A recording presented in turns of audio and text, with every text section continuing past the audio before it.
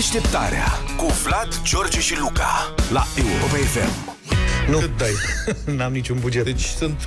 Luca? Eu m-am lăsat de Tu Brazil. ești cu plastic, nu? Da. Da. Am mai revenit la un moment dat la natural, dar nu... Da. N-am fost mulțumit. Deci am văzut o știre, costul brazilor între 30 și 400 de lei. Da. Și nu înțeleg variațiile astea și vă spun din proprie experiență, în weekend am trecut printr-o piață, am vrut să iau, sunt niște coronițe așa de ramuri de brad, Uh-huh. Care sunt convins că sunt ram, rămurele furate, adică încerc să rezist impulsului de a recompensa un furt. Eu nu cred că oamenii ăia cresc brazi pe undeva, ăia care vând în piețe, special ca să taie rămurele și să facă coronițe. Nu, dar poate că la transport au mai căzut. Și... Da, sunt convins că au mai căzut. Sunt toate curate, nu sunt alea căzute pe jos. În fine, nu știu, poate că sunt eu suspicios. Deci nenea vindea coronița de brad cu 70 de lei. Mamă. Și mi-a, cât face? 70, o coroniță de aia, cât poate? Știți cum arată? Mai avea vreo ceva, vreun N-avea, accesoriu, domnule, globuleț, nimic. era legată Nimic. manual cu fir 70 de... lei. I-a zis, stai așa să mă duc la bancomat să scot bani, că n-am 70 de lei la mine. 10 pași mai la stânga, nu exager, 10 pași. Era o altă doamnă care vindea și floși, nu știu ce, același tip de coroniță, plus fundițe, 10 lei. Coroniță China. Da. Păi nu, era tot de brad autent. Păi nu înțeleg care este diferența. Deci, întrebare pentru voi, prieteni, dimineața asta, dacă ați luat brad natural, cât ați dat pe el și cum arată. Adică să știm și noi, bă, la 30 de lei am luat de fapt o rămurică, nu știu Eu cum. am pus ochii pe ceva la 100-150 de lei, cam așa. Și dacă ați trecut la brad de plastic sau tot mai insistați cu bradul natural, e frumos, mă, și bradul natural, dar pe cuvânt eu am revenit la bradul de plastic, nu mai puteam, căram bradul ăla de plastic prin mașină, prin ora, din uh, bradul natural. Prin Problema mașină, nu e căratul. Mm. Că îl cari, știi cum e, te mai După. Ajuns. Dar după, Da. când s-a uscat și trebuie Da. să-l scoți și toate acelea alea rămân până în aprilie, Ok. aia e Deci nenorocire. mesaj audio 0728 de 1 3 de 2 Cât ați dat pe brad dacă l-ați luat Cam care e bugetul sau ce e mai bun Bradul de plastic, bradul natural Să facem o discuție și știți ce? Sunați-ne, dați-ne și telefon Că avem câteva minute să vorbim despre asta Îl dăm și pe Toma Caragiu cu brăduțul Da, da. 0372 069 599 Hai să vorbim, Ițel Bun. Ne-am aranjat. Cam așa se întâmplă în fiecare casă, zic eu, Despre de anul brad, nou. sigur, problema cu bradul natural, cum am mai stabilit când uh, scoți pe afară. Cât ați dat pe brad, era întrebarea dimineții. Trei topoare, îmi transmite un amic. Trei topoare. Am un vecin care doar atât a dat pe bradul lui. Trei topoare. Ele, sper că e de la el din curte. tu ce crezi? Sper. Nu Mai știu. avem un prieten care recomandă să cumpărăm brazi în uh, ghiveci, ceea ce e foarte bine. Am făcut și eu asta, am vreo trei brazi prin curte plantați de-a lungul anilor. De, mă rog, Deci de s-au ce nu îi prins. împodobești pe aia? îi mai împodobim și pe ea. Și uh, l-au întrebat pe amic, zic, bun, și după aceea trebuie să-l plantezi, nu? Unde îl plantezi? Păi zice, mă duc în parc cu el. Mă zic, poate te umflă paznicii. Ce faci, bă, să am cropacia? Bravo, da. Hai să vedem, am primit foarte multe mesaje, de asemenea telefoane, intrăm în direct imediat. Bună dimineața! Sunt Violeta din Mioveni și eu nu concep ca uh, sărbătorile de Crăciun să nu fie cu brad natural. În casă trebuie să miroasă a brad, brad natural, portocale, sarmale și vin fiert. O zi bună, vă pup! Adevărul că miroase frumos, brad. Și sarmalele sper tot natural. Eu ultimele dăți am luat brad natural, n-am mai mirosit decât o zi, două, după aia nu mai miroase deloc și atunci am revenit la bradul de plastic. Ai și tu ai și probleme cu miros. și cu auzul.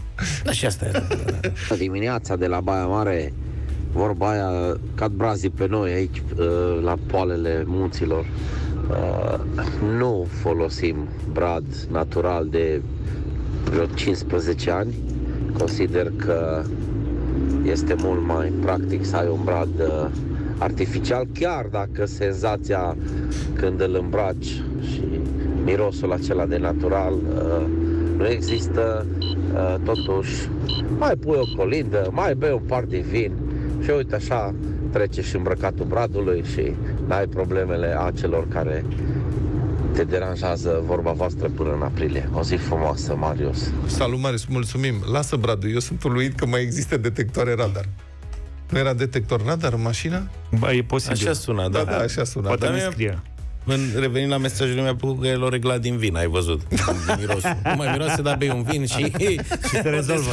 Altfel, uh, cei doi ascultători, iată două școli de gândire diferite, doamna cu mirosul și bradul natural, dânsul din uh, patria brazilor apelează la plastic și o reglează da. din vin. Primesc mesaj, există spray cu miros de brad. Iată.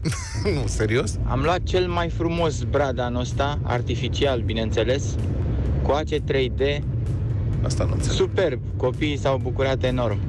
Cred că e o chestie supradimensionată din ce îmi dau Ce, seama. 3D? Da, Ce probabil. supradimensionat, mă, e pe știu. televizor sau nu înțeleg? Nu știu, Habar n-am. poate ne explică. Andrei, bună dimineața! Salut, Andrei. Bună dimineața, băieți! Că ai luat brad, cât ai dat pe el? Da, am luat un brad, am dat 250 de lei pe el. Mi se pare Un brad destul de la un magazin ăsta foarte mare, nu dau numele. Supermarketuri, nu? Dar, Da, da, asta, de la un în parcare. supermarket. Dar Mhm. Ce vreau să vă spun, v-am auzit puțin mai devreme discutând despre coronițele acelea Mhm. care se pun pe ușe. Majoritatea celor care sunt din producție m, românească, în ghilimele, provin din exploatările forestiere. Ok. Pentru că cei care exploatează brad, da, la, la pădure, cum se zice în zona noastră, au așa o înțelegere tacită cu, cu cei care produc coroane, atât pentru mormântări, și cât și perioada sărbătorilor de iarnă, uh, produc aceste coronițe. De- Și iar lor le convine ca uh, parchetul unde se exploatează să rămână curat, da? Mhm. Asta este o condiție principală Și dau Momentul ăsta. rămurelele care cad, înțeleg. Exact, exact. Bun, exact. măcar atât. Uh, Rămule, rămurelele iau cei care produc, uh, ace- fac aceste coroane și iar ei iau uh, lemnul, masa lemnoasă. Asta Mulțumim mai- foarte mult. Da, așa sunt convins că în piețe vara se vinde porumb uh, dulce, la fel și ăla este cultivat special ca să fie vândut. Să nu exagerăm, e posibil la să fie aceeași și tarabe întotdeauna. și pe plajă sunt convins. să recuperatorii de brăduți. Da. De... Alea pălărine de floarea soarelui. Leonard, bună în dimineața. August, la fel și alea sunt. Bună dimineața! Bună, Bună Bună dimineața! Uh, Eu lucrez la una din acele companii mari despre, despre care spunea antevorbitorul meu. Vindem brazi de la 28 la 130 de lei, Mhm. dar... uh, Dar cum ideea arată că un brad de bradul- 28 de lei totuși? 28 de lei este undeva la un metru. Ok. Și, aștept, și așteptăm să-i crească ramuri. E Da. de la de Nu, parbriz. ei, nu, ideea este că ei sunt foarte joși, dar sunt foarte bogați. Circumferința lor este destul de mare. Mhm. Ok. Însă, eu ce vreau să... De fapt, de ce am venit, de ce am uh, intervenit în dimineața asta, Da. este modul în care se menține bradul. Ideea este că bradul nu se pune niciodată pe mijlocul camerei. Se pune foarte aproape de, de o sursă de căldură. Și, și atunci nu rezistă. El trebuie să aibă multă apă. Și atunci, în suport, Da. se pune apă, se pun două aspirine și atunci rezistă foarte mult. Acum, sincer, eu nu am văzut niciodată un suport de brad de Crăciun în care să apă. poți să pui apă. Ba da, sincer, poți, am n-am eu văzut. acasă. Ai tu? Am eu un Mamă, suport, e- Ești modern. Nu l-am folosit. Nu, nu l-am folosit niciodată. nu, ele, ba da, l-am folosit. E nu de e la bun. umbrelă de plajă, mă, la altă, nu e de...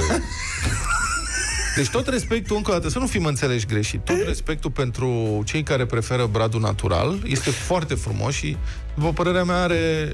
Adică e tradițional așa e, cu bradul natural. Dar e și mult mai complicat cu bradul natural. După părerea mea, mai avem câteva secunde, așa că Da. să ne Foarte vorbești cu Răzvan. Bună dimineața! Cu aspirină n-am știut Bună cu dimineața, bradul- bună dimineața O băieți. să-i inunzi vecinii. Scurt, Salut! am luat un, un brad natural din care a trebuit să și tai, cred că vreo 30 de centimetri, Jos de sau la în un sus? supermarket francezesc, care începe cu A. Mă rog, Așa. se termină cu șan. Așa? Așa? Foarte bine. 70 de lei, adică 70 de de lei. buget. Treabă. Foarte bine, bravo. Bun. Și după aia cât dai pe curățenie, când trebuie să-l scoți afară și cad toate acele. E, am văzut să pe geam, că stau la partea. Ah. Nu cred. Tradițional Numai că românesc. tradițional pe geam și cei care stau la etajele Adevărul e că la bradul natural, asta cu dezafectatul bradului Aia e e complicat. partea cea mai Și e complicată. Dacă foarte nu trist. stai la el, Și e foarte trist după aceea când îi vezi aruncați pe marginea drumului abandonați așa, știi? Aia e jalnic. Ce Da. se întâmplă? Dar, mă rog, altfel să ne bucurăm de sărbători. Îl și văd venind la radio trist. Ce-ai pățit, Vlad? Eh, Am văzut un brad am văzut mort. un brad. Deșteptarea cu Vlad, George și Luca la Europa FM.